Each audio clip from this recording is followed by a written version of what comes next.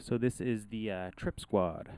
It is four wave shapers that are normalized in series, or you could uh, put like something into channel two and it breaks the connection, and one is on its own. They could all be used on their own. Um, inputs. You have a level control coming in. You have two CV uh, inputs that uh, do some really fun modifications to the sound. You have your DC coupled output if you want to run some CVs and mingle some CVs. You also have your AC coupled outputs.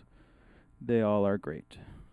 So let's start off with a nice clean sine wave. Let's see, wh- what am I doing here? Oh, let's do the sine wave. I have out here in my hand. So that's a nice sine wave coming out of Dixie. Next, let's put the sine wave just directly in to the TripsQuad. No modulation. It's already adding some uh, delicious harmonics. Let's modulate that. Let's see, I've got a whole bunch of modulation sources here from the Ornaments and Crime and from the uh, from Wogglebug. So let's start modulating this guy. Alright, so that's one channel.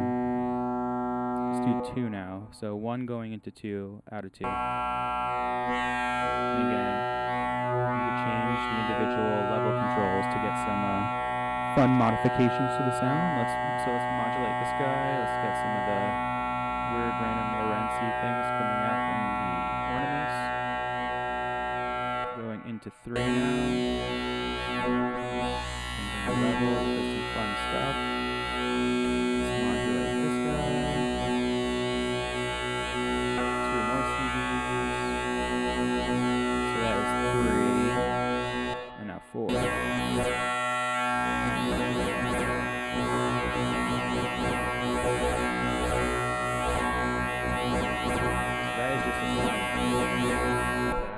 Do some audio. I have a random recording of a guy talking.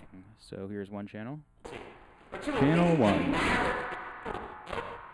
Channel two. So one and two. One, two, and three. One, two, three, and four.